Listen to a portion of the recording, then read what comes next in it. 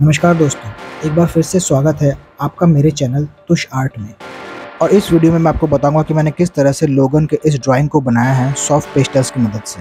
उससे पहले, अगर आप मेरे चैनल पर नए हैं तो प्लीज़ मेरे चैनल को सब्सक्राइब करें और बेल आइकन ज़रूर प्रेस करें। मैंने कौन कौन से आर्ट मटेरियल का यूज़ किया है, ये रही उसकी इमेज अगर आप चाहें तो इसका एक स्क्रीनशॉट ले सकते हैं। इन सभी आर्ट मटेरियल्स का परचेज लिंक मैंने डिस्क्रिप्शन बॉक्स में डाल दिया है। तो ज़्यादा देर ना करते हुए चलिए शुरू करते हैं। मैंने ग्रिड मेथड का यूज़ किया है इसकी आउटलाइन बनाने के लिए। और जो सॉफ्ट पेस्टल मैंने यूज़ किए हैं, वो यूज़ किए हैं कैमल ब्रांड के, जो कि मेरे पास 20 शेड्स में अवेलेबल है। रेफरेंस इमेज के अकॉर्डिंग जो ग्रिड के बॉक्सेस मैंने बनाए हैं, वो 2.7 सेंटीमीटर हॉरिजॉन्टल और 2.7 सेंटीमीटर वर्टिकल है। यहाँ पर नीडेड इरेजर की मदद से मैं ग्रिड की जो लाइंस हैं उन्हें लाइट कर रहा हूँ, जिससे कि मुझे पेस्टल्स अप्लाई करने में दिक्कत ना आए।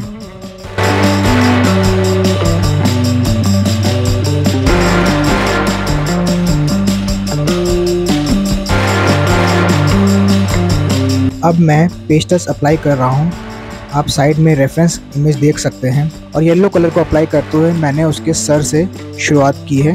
मैं स्टेप बाय स्टेप आपको पूरा प्रोसेस बताता रहूँगा कि कहाँ पर कौन सा कलर अप्लाई करना है और कैसे ब्लेंड करना है।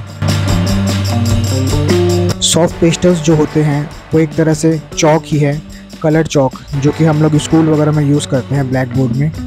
तो ये बहुत मैसी होते हैं, इनको बहुत ध्यान से अप्लाई करना पड़ता है। अगर ज़रा सा भी ध्यान हटा तो ये बहुत जल्दी गंदे हो जाते हैं। और इनको ब्लेंड करने का तरीका यही है कि इनको हम अपने फिंगर से ब्लेंड कर सकते हैं, या फिर घर पे जो ईयरबड्स हैं, उसके मदद से हम इन कलर्स को ब्लेंड कर सकते हैं। यहाँ पर मास्क की डिटेलिंग करने के लिए मैंने फेबर कैसल पॉलीक्रोमोस के पेंसिल कलर का यूज़ किया है, क्योंकि सॉफ्ट पेस्टल से हम लोग इतनी अच्छी डिटेलिंग नहीं कर पाएँगे। जो फेस पे फाइन डिटेलिंग्स हैं, उनके लिए मुझे पेंसिल कलर का यूज़ करना पड़ेगा। सॉफ्ट पेस्टल्स से मैं सिर्फ़ कलर अप्लाई कर सकता हूँ और उसके ऊपर मैं जो डिटेलिंग कर रहा हूँ, वो पेंसिल कलर से कर रहा हूँ। यहाँ पर मैंने वाइट चारकोल पेंसिल का भी यूज़ किया है हाईलाइट करने के लिए, क्योंकि कुछ फाइन डिटेल्स है जो कि मुझे वाइट चारकोल का यूज़ करके ही करना पड़ेगा।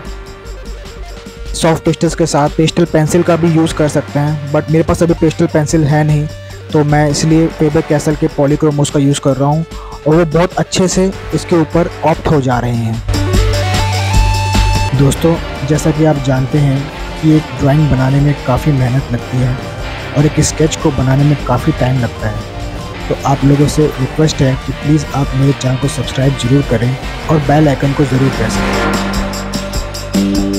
यहाँ पर आप देख सकते हैं कि मैंने ब्लू कलर के पेस्टल से जो हैंड है उसका बेस फिल कर दिया है और उसके बाद फिर मैंने वही पेंसिल कलर का यूज़ करके उसके हैंड की जो डिटेलिंग्स हैं वो करी है और इस पर भी मैंने वाइट चारकोल पेंसिल का यूज़ किया है और ऊपर से मैंने वाइट पेस्टल को अप्लाई किया है जिससे कि हाइलाइट्स मिल सके मेरे को।